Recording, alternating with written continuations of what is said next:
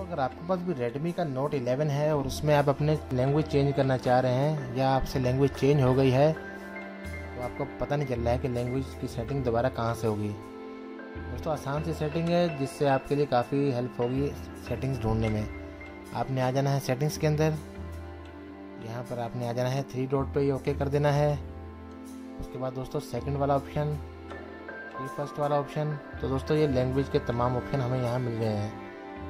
अब आप कंट्री अपनी या अपनी रीजन के हिसाब से कोई सी भी लैंग्वेज सेलेक्ट कर सकते हैं। मैं आ जाता हूँ इंग्लिश पे तो दोस्तों इंग्लिश एक्टिव हो चुकी है।